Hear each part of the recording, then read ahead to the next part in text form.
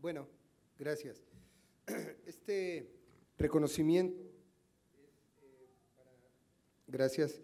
Este reconocimiento, por supuesto, eh, de parte de Cámara de Diputados de la Comisión de Cultura y Cinematografía es entregado a, a estas dos personalidades que nos acompañan el día de hoy y dice Cámara de Diputados, Comisión de Cultura y Cinematografía, la Comisión de Cultura y Cinematografía otorga el presente reconocimiento al señor Fabriz Pastor por haber participado en el encuentro diplomático Palacio Legislativo, San Lázaro, Ciudad de México, 21 de febrero del 2020.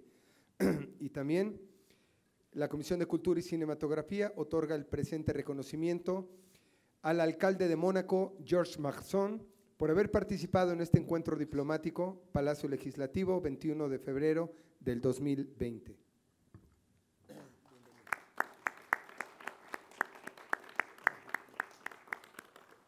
Despedimos a los miembros del Presidium, por favor permanecer de pie para llevar a cabo la fotografía oficial de este evento, si son tan amables.